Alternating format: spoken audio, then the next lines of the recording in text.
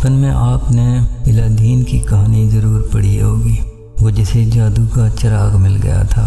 उसने चिराग को हाथों से रगड़ा तो उसमें से एक जिन निकल आया, जिसने कहा, क्या हुक्म मेरे आका?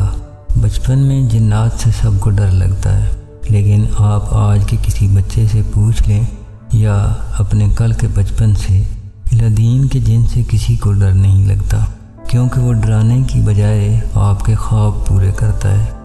आपने शायद अर्नेस्ट शेकल्टन की कहानी न पढ़ी हो। ये बरतानवी ताले आजमा 1914 में, यानी अंटार्कटिका के बर्फ़ानी बरआज़म की तहकीक के लिए जहाज़ लेकर निकल गया था। सर्द तरीन मौसम के सर्द समंदर की बर्फ़ में उनका जहाज़ फंस गया। बर्फ़ के मुंजमद दबाव ने जहाज़ तोड़ दिया। ये अपने साथियों के साथ मुंजमद समंदर में फंस गया। फिर एक छोटी किश्ती में बर्फ़ानी तोदों की भूल भलियों में से रास्ता बनाते ये 800 मील का सफ़र करके वापस आ गए थे। अर्नेस्ट शेकल्टन से जब पूछा गया, बका का ये नामुमकिन सफ़र तुमने मुमकिन कैसे बनाया? शेकल्टन ने कहा, मैं रोज़ाना साथियों को कामयाबी से घर वापसी की उम्मीद की एक रगड़ देता था। हमने अपनी उम्मीद को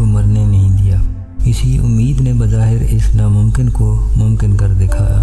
इलादीन की कहानी और इसका जिन एक अफसाना है, लेकिन अर्नेस्ट शेकल्टन की कहानी सच्ची है। आपको चिराग और इसका जिन मिले न मिले, अपनी उम्मीद को रोज़ाना यकीन की रगड़ ज़रूर दें। जैसे सर्द मौसम में हम हाथ की हथेलियाँ रगड़ लें तो सारे जिसम को एक हरारत मिल जाती है।